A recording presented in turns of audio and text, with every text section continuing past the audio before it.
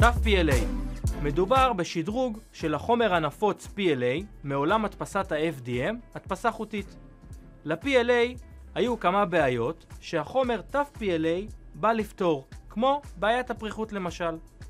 המשיכות של התו PLA גבוהה יותר, והוא בעל חסינות גבוהה יותר לשבר. ניתן לעשות לו עיבוד משלים הכולל הברזות תבריגים, ומבחינת ביצועי הדפסה הוא דומה ל-PLA כך שזה חומר שנוח לעבוד איתו והוא קיים במגוון צבעים ובגימור מבריק.